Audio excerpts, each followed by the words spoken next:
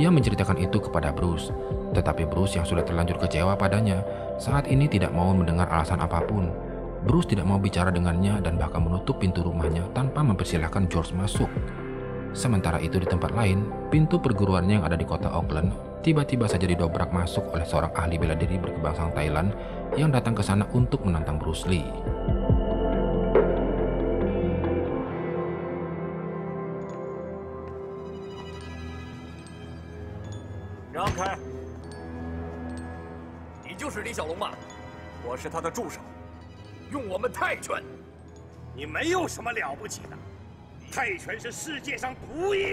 Orang ini bernama Talu. Ia datang ke perguruan ini berbicara dengan nada menantang dan ingin membuat perhitungan dengan Bruce Lee. Ia sangat keberatan setelah mendengar pemberitaan yang mengangkat nama Bruce dan kehebatannya setelah memenangkan turnamen bela diri se-Amerika sebelumnya. Walaupun Kimura sudah mengatakan bahwa Bruce Lee sedang tidak ada di tempat, tetapi Talu dan bapak satu ini tidak langsung pergi. Mereka malah tersinggung dan merasa seakan-akan dianggap remeh dari tatapan Kimura dan para siswanya ini. Mereka menggertak, berbicara lantang dan sedikit kasar. Kimura yang tidak senang melihat kedatangan mereka dengan cara tidak sopan tersebut menawarkan diri untuk meladeni tantangan Talu. Namun bukannya bersedia, Talu malah pergi dan seakan membalas rasa tersinggungnya tadi dengan senyum sinis kepada Kimura. Seakan-akan ia sedang mengisyaratkan bahwa ia juga bisa meremehkan mereka. Ya, kalau dilihat, Talu ini tidak beda jauh dengan Bruce Lee ya, yang dulunya suka menantang perguruan lain untuk membuktikan bahwa bela diri yang dipelajarinya adalah bela diri yang paling hebat. Dan ia tidak mau melawan Kimura di hari itu karena ia ingin ketemu orang yang paling jagonya saja yaitu Bruce Lee. Sementara itu di Los Angeles, tampak Bruce yang saat ini sedang merasa gundah dan terus memikirkan kejadian barusan. Ia tidak habis pikir dan masih menyalahkan George. Bruce merasa bersalah pada Linda karena sudah mengajak mereka buru-buru pindah ke Los Angeles, tetapi Linda berusaha menenangkan dan menghiburnya. Ia mengatakan mungkin belum saatnya atau bukan takdir Bruce untuk bisa masuk Hollywood, dan ia juga mengajak mereka untuk kembali saja ke kehidupan mereka sebelumnya di kota Oakland. Bercampur rasa tekad yang bulat dan juga gengsi untuk menarik kembali semua ucapannya, Bruce menolak saran Linda tersebut, di mana semakin Linda menyarankannya untuk kembali ke Oakland, semakin kuat pula keinginannya untuk bisa menaklukkan Hollywood. Ia meyakinkan Linda bahwa kegagalan ini adalah sebuah proses bagi mereka untuk mencapai kesuksesan, dan ia tidak ingin Linda menyerah begitu saja setelah satu kegagalan yang mereka alami kemarin. Malam itu, Inosanto yang mendengar berita tentang tantangan Talu tadi mengatakan kepada Kimura agar sebaiknya tidak terpancing. Inosanto yang memang memiliki segudang informasi seputar berbagai jenis bela diri ini menceritakan pengetahuannya tentang bela diri tinju Thailand tersebut yang terkenal keras. Ia coba memperingatkan Kimura karena tidak ingin sesuatu yang buruk terjadi padanya, apalagi melihat cara warga Thailand tadi yang datang seperti orang yang ingin buat masalah saja. Malam itu, Kimura tampak bisa paham dan mengikuti saran Inosanto. Tidak diperlihatkan dalam film dan tidak diketahui berapa hari lamanya Talu menunggu Bruce datang kembali ke Auckland, tetapi asumsi saya, Tampaknya Talu sering datang ke kuburan ini, dan tiap kali ia datang, suasananya pasti tegang dan tidak mengenakan yang membuat Kimura akhirnya lama-lama kesal juga. Sampai dengan satu harinya, saat Inosanto sedang berangkat ke Los Angeles, Talu datang lagi, dan Kimura yang sudah tidak bisa menahan kesabarannya, membalas gertakan itu dan balik bicara kasar padanya, sehingga pertarungan antara Kimura melawan Talu pun terjadi.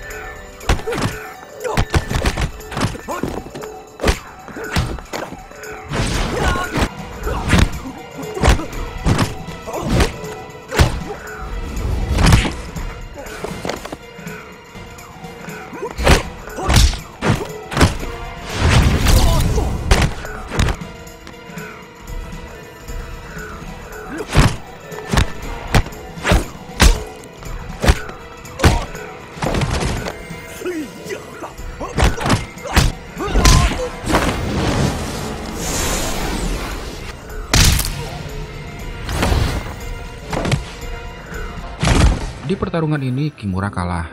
Ia bahkan kalah telak di hadapan para siswanya sendiri. Dan dari adegan ini bisa kita lihat, tampaknya film ingin menunjukkan perbedaan antara seorang Talu dan Bruce Lee. Ya, Talu semata-mata hanya ingin membuktikan kehebatan bela dirinya saja tanpa memikirkan efek yang timbul setelah mempermalukan lawannya. Tidak sama dengan Bruce Lee yang datang dengan tujuan khusus tidak peduli menang atau kalah, juga sebisa mungkin tetap menjaga hubungan baik dengan orang yang sudah ditantangnya. Inosanto yang tadi berangkat ke Los Angeles rupanya pergi ke sana karena beberapa hari sebelumnya dipanggil oleh Bruce. Ya, Bruce ternyata ingin berdiskusi sekaligus mengajak Inosanto bermain film dengannya. Rupanya saat Josh berbicara dengannya terkait kontrak pada waktu itu, lagi-lagi Bruce terlalu terbawa perasaan senang dan percaya diri akan segera masuk Hollywood, di mana ia juga ingin Inosanto bermain film dengannya karena ingin menunjukkan kepiawaian mereka dalam memainkan nunchaku. Tetapi setelah William memutuskan tidak memakai Bruce dalam filmnya, angan-angan itu pun mau tak mau harus ia tunda dulu. Mendengar cerita Bruce tadi, Inosanto coba mengajaknya kembali ke Oakland saja dan mengurus perguruan mereka karena ia merasa sudah tidak ada alasan lagi untuk Bruce berada di Los Angeles. Tetapi Bruce yang sudah membulatkan tekadnya untuk terus mengejar Hollywood, meyakinkan Inosanto bahwa ia tidak akan pernah pulang ke Oakland sebelum berhasil dan bisa masuk Hollywood. Di hari itu Bruce akhirnya pergi juga ke Oakland, tetapi bukan karena menyerah pada Hollywood, lantaran hanya untuk meladeni tantangan Talu yang ia dengar sampai sekarang masih bersikeras untuk bertemu dengannya.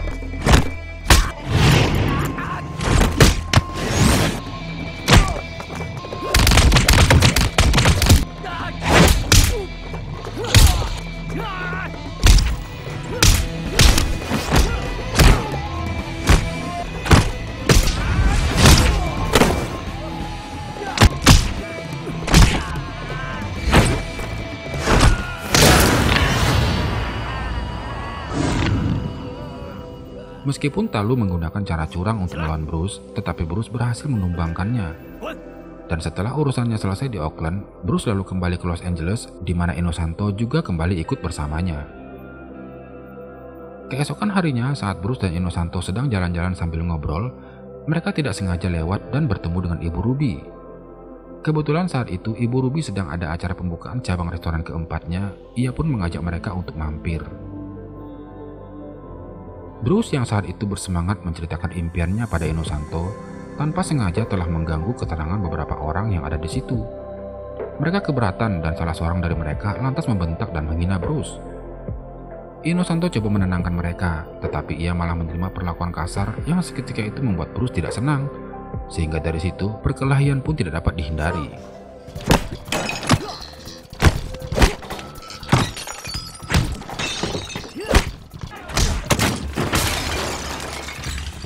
Ruby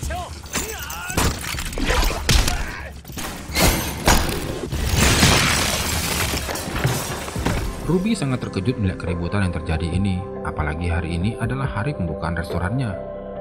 Banyak barang yang pecah dan berantakan di mana-mana, dan jelas itu semua menimbulkan kerugian baginya. Beruntung polisi segera datang sehingga perkelahian ini bisa dihentikan sebelum semakin parah. Bruce, Inosanto, dan para komplotan ini tadi diamankan dan dibawa ke kantor polisi.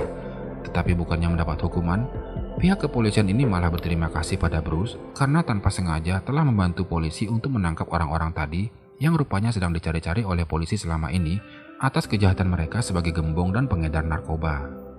Dan dari kejadian ini juga, Bruce akhirnya dapat kepercayaan dari kepolisian untuk mengajarkan beberapa gerakan bela dirinya kepada mereka, di mana Bruce juga diiming-imingi akan menerima bayaran yang cukup tinggi. Keesokan paginya, ditemani Inosanto, Bruce pun seharian mengajar bela diri di kantor polisi tersebut. Mereka senang karena mendapat bayaran yang sangat besar pada hari itu. Tetapi saat Bruce ingin membagikan penghasilan tersebut, Inosanto menolak dan secara tulus memberikan semua penghasilan tersebut kepada Bruce Lee. Inosanto melakukan itu karena ia menilai Bruce Lee sekeluargalah yang lebih membutuhkan uang itu, apalagi saat ini Bruce tidak punya penghasilan tetap di Los Angeles, sementara dirinya masih bisa mendapatkan penghasilan dari perguruan mereka yang ada di Oakland. Inosanto kemudian pamit pulang ke Oakland dan Bruce berjanji padanya jika nanti ia telah berhasil masuk Hollywood, ia tidak akan melupakan teman-temannya dan akan mengajak mereka bermain film bersamanya. Keesokan harinya, Bruce juga tidak lupa untuk pergi ke restoran Ruby bermaksud untuk memberikan sejumlah uang padanya sebagai bentuk penyesalannya sekaligus mengurangi sedikit beban kerugian yang sudah Ruby alami.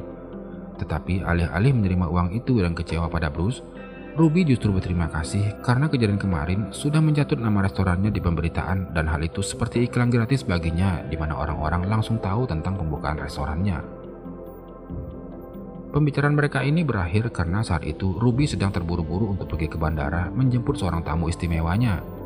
Ya, tamu ini ternyata adalah Xiaoman, teman sekelas, mantan pacar, sekaligus partner menari Bruce saat mereka masih di Hong Kong dulu. Xiaoman kini sudah menjadi seorang artis dan penyanyi terkenal di Hong Kong. Ia datang ke Los Angeles tersebut karena permintaan ibu Ruby yang mengundangnya untuk tampil di sebuah acara khusus warga Cina. Tetapi sayang, kedatangan Xiaoman sebagai artis kala itu dimanfaatkan oleh sebuah geng yang meneror, mengancam, dan memeras agar bisa diberikan sejumlah uang jika Xiaoman ingin selamat selama ia berada di Los Angeles. Berita ini terdengar oleh Ruby dan timnya. Tentunya karena mereka yang mengundang Xiaoman ke sana, mereka lah yang harus bertanggung jawab pada keselamatan Xiaoman. Awalnya mereka berniat untuk melaporkan hal itu kepada polisi, tetapi lagi-lagi, karena hawa-hawa perilaku rasis yang masih cukup kental pada masa itu, mereka ragu jika pihak kepolisian akan melayani mereka dengan baik. Dari sini mereka lalu terpikir nama Bruce Lee dan Ibu Ruby langsung memintanya secara pribadi agar mau membantu mereka menemani Xiaoman sekaligus menjadi pengawal pribadinya selama di Amerika. Bruce setuju untuk membantu, apalagi ini menyangkut keselamatan warganya. Tetapi berbeda dengan Linda, ia tidak setuju sama sekali karena hal itu secara tidak langsung membahayakan keselamatan diri Bruce Lee juga. Ibu Ruby merasa tidak enak setelah melihat Linda dan Bruce bertengkar membicarakan hal itu. Ia mengurungkan niatnya dan akan mencari pertolongan di tempat lain saja, tetapi Bruce yang sudah terlanjur mengiyakan permintaannya tadi, merasa harus memegang ucapannya walaupun itu bertentangan dengan kehendak istrinya. Bruce sangat terkejut ketika mengetahui orang yang akan dikawalnya ini adalah Xiaoman.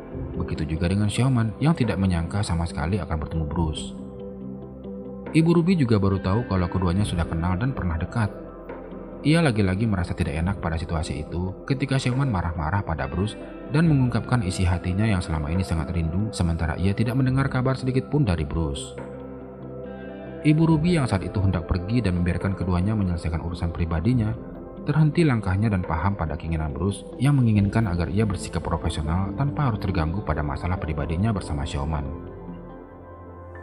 Linda yang sejak awal tidak setuju pada pekerjaan ini rupanya menghubungi Kimura untuk ia mintai tolong agar bisa mengikuti dan menjaga Bruce secara diam-diam.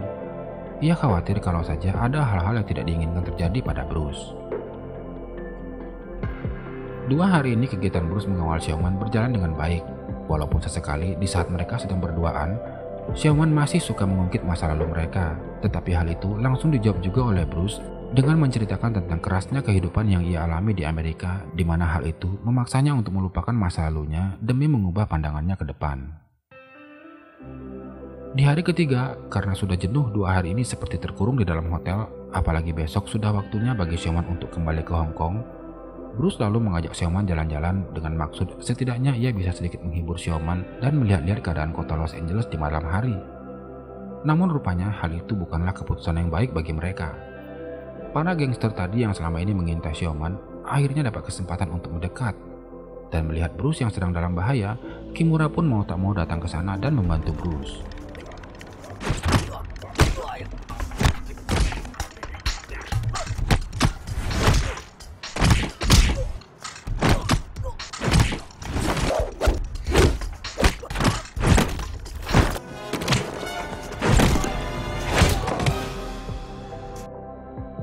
Setelah menghajar para gangster tadi dan setelah ngobrol-ngobrol sedikit serta menjelaskan kenapa dirinya bisa ada di Los Angeles selama tiga hari ini, Kimura akhirnya pamit pulang ke Oakland di malam itu juga. Dan begitupun keesokan paginya, Xiaoman juga pamit di mana Bruce dan Ibu Ruby mengantarnya sampai ke bandara untuk memastikan perjalanannya tetap aman dan bisa berangkat dalam keadaan yang baik. Beberapa hari setelah itu, Bruce sekeluarga juga berangkat ke Hong Kong, di mana ini adalah pertama kalinya Bruce mengajak keluarganya ke sana. Linda sangat senang bisa bertemu dengan keluarga besar Bruce, dan begitu pun dengan Bruce, ia juga menyempatkan diri untuk mendatangi Master Ip Man dan bertemu dengan keluarga besar perguruannya. Awalnya pertemuan ini terasa hangat, di mana semua orang yang ada di situ juga terlihat sangat senang. Tetapi semuanya berubah ketika Ip Man meminta Bruce untuk memperagakan kembali rangkaian gerakan dasar Wing Chun yang dulu pernah diajarkan padanya. Terlihat di wajah mereka seperti ada yang aneh ketika melihat peragaan dari Bruce ini. Begitu juga saat Ip Man memintanya untuk memperagakan gerakan lainnya, Bruce malah mengatakan bahwa ia sudah banyak lupa pada gerakan-gerakan itu. Hal ini membuat Ip Man heran dan tampak tidak bisa menyembunyikan kekecewaannya. Bruce banyak lupa pada gerakan itu karena memang sejak awal, Bruce mendasari pengertian filosofi yin yang-nya untuk sebuah bela diri adalah bertujuan untuk pertahanan diri yang sudah tentu akan banyak diimplementasikan pada pertarungan yang sesungguhnya. Maka dari itu, ia banyak menghilangkan gerakan dari beberapa bela diri tertentu yang dianggapnya terlalu bertele-tele, termasuk di antaranya beberapa gerakan Wing Chun itu sendiri. Ip Man tersinggung mendengar pernyataan ini. Ia lantas menghardik Bruce dengan mengatakan, berarti Anda sudah merasa memiliki tingkat kehebatan yang luar biasa. Coba kalau begitu saya mau lihat seberapa hebat bela diri ciptaan Anda. Ip Man lantas meminta Bruce membuktikan kehebatan Jeet Kune nya dengan sparring melawan beberapa siswanya ini. Saat sparring ini, terlihat tatapan beberapa siswa seperti merasa tidak enak pada Ip Man karena Bruce berhasil menghalau gerakan mereka. Di depan matanya, Bruce berhasil membuktikan gerakan Jeet Kune Do yang sederhana tersebut namun sangat mematikan bagi lawannya. Dan mungkin dipengaruhi rasa kesalnya pada Bruce, ia kemudian mengungkit tentang gosip yang selama ini didengarnya tentang Bruce di Amerika yang sudah menerima murid dari warga non-Cina. Awalnya ia tidak mau menelan mentah-mentah gosip itu, tetapi sejak Bruce mengakuinya, maka hal ini jugalah salah satu yang membuat Ip Man semakin kesal padanya. Bruce coba menceritakan alasan dan latar belakangnya mengambil keputusan terkait gosip yang menceritakan dirinya tersebut, tetapi Ip Man yang sudah bercampur aduk perasaannya tidak mau mendengar dan bahkan mengusir Bruce dari tempat itu. Dari sini barulah diketahui bahwa selama ini Ip Man memang sangat menjagokan Bruce. Secara pribadi, ia bisa melihat Bruce memiliki bakat dan kemampuan yang luar biasa, dan ia sangat mengharap Bruce Lee lah yang nanti akan menjadi penerusnya untuk menurunkan ilmu Wing Chun kepada generasi berikutnya. Tetapi sejak melihat kenyataan yang terjadi di depan matanya hari ini, Ip Man sangat kecewa. Terlihat jelas di raut wajahnya, sudah tidak ada harapan lagi baginya untuk bisa mengandalkan Bruce Lee.